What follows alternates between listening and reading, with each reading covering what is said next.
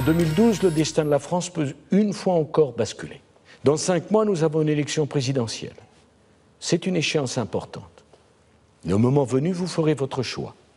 Mais d'ici là, je dois continuer à agir, car l'histoire des décennies à venir s'écrit maintenant. Il est sain que les Français tirent le bilan de ces échecs et ouvrent une page nouvelle de leur histoire. J'invite donc aujourd'hui François Hollande, François Bayrou et Jean-Luc Mélenchon à préparer dès à présent une dynamique de second tour.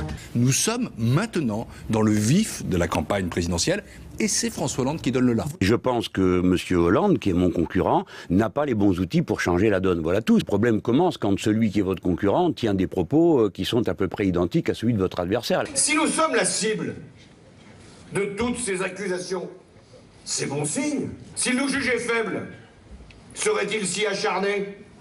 Je sais que la vie de beaucoup d'entre vous, déjà éprouvée par deux années difficiles, a été une fois encore durement mise à l'épreuve. Il s'agissait ce soir des derniers vœux du quinquennat de Nicolas Sarkozy et c'est l'occasion d'un bref bilan. Jamais un président de la République n'aura autant maltraité les Français. Nicolas Sarkozy, chaque jour, démontre aux Français qu'il est dans une vision purement électoraliste, d'intérêt personnel et qu'il a complètement oublié l'intérêt supérieur du peuple français. Le Pen, qui vit dans un hôtel particulier et qui est une héritière, passe sa vie à se plaindre parce qu'elle veut représenter la France qui souffre. Dans la tempête, vous avez souffert.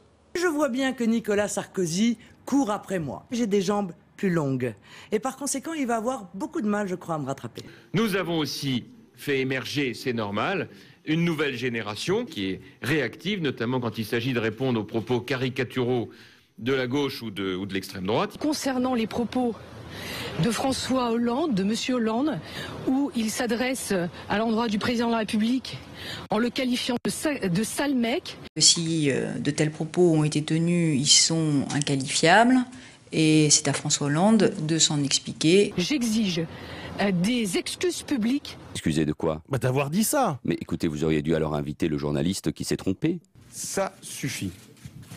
Je n'accepte pas des polémiques incessantes c'est un climat euh, détestable. L'a dit, l'a pas dit, ça reste à vérifier. Mais ce qui est sûr, c'est que c'est ce que beaucoup de dirigeants de gauche pensent des responsables de droite, et c'est ce que beaucoup des responsables de droite pensent des dirigeants de gauche.